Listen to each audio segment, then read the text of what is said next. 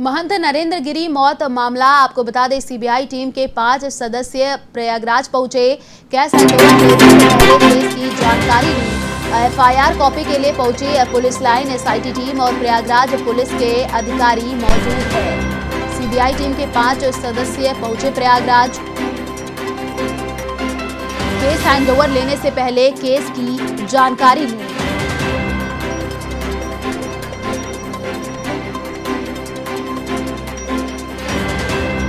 और इसी खबर पर अधिक अपडेट के साथ यूपी से ब्यूरो चीफ अमरीश सिंह हमारे साथ फ़ोन लाइन पर जुड़ चुके हैं। जी अमरीश, देखिए, महंत नरेंद्र गिरी मौत के मामले में सीबीआई की टीम प्रयागराज पहुँची है। क्या कुछ अपडेट?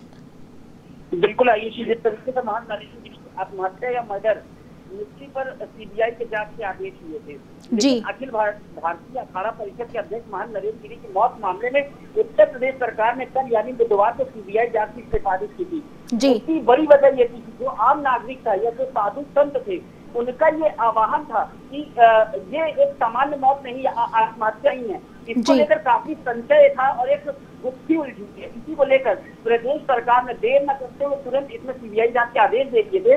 जिस पर आज अभी से थोड़ी देर पहले सीबीआई की टीम प्रयागराज पहुँची और केस हैंडओवर लेने से पहले सीबीआई की टीम ने एफआईआर की कॉपी लेने के लिए पुलिस लाइन पहुँची और एसआई टीम और पुलिस प्रयागराज पुलिस के अधिकारी जिनके नेतृत्व में ये टीम बनी थी जिसमें आईजी के सिंह थे और डीआईजी एसएसपी सर्विसेज़ त्रिपाठी थे उनकी मौजूदगी में सीबीआई बहुत ही जल्द केस का हैंडओवर ले लेगी। लेकिन इस मामले में एक बड़ी वजह एक बड़ा कारण और निकल कर आ रहा है कि आनंद गिरी, जिस, जिनको पर मुख्य रूप से ये इल्ज़ाम है कि आत्महत्या में, जिनको पर तीन सौ छह का आरोप भी है कि उन्होंने आत्महत्या के लिए उकसाया है।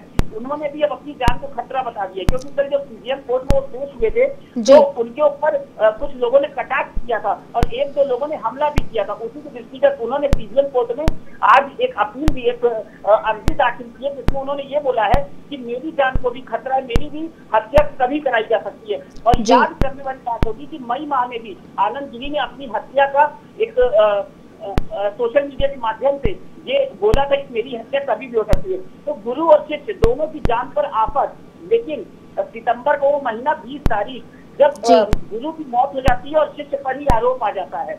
लेकिन इसमें बड़ी बात ये भी है कि जिस तरीके से अंदरूनी लोगों के नाम आ रहे हैं और हरिद्वार से भी जैसा कि अभी खबर मिली है थोड़ी देर पहले कि काफ़ी लोग महान नरेंद्र गिरी के संपर्क में थे और उनसे लगातार बात हो रही है। जिस दिन महान नरेंद्र गिरी की मौत हुई थी उस दिन भी सूत्रों के अनुसार 18 नंबरों में से तीन नंबर हरिद्वार के वो प्रॉपर्टी डीलरों के थे जबकि अन्य पंद्रह नंबर हरिद्वार के दूसरे लोगों के थे।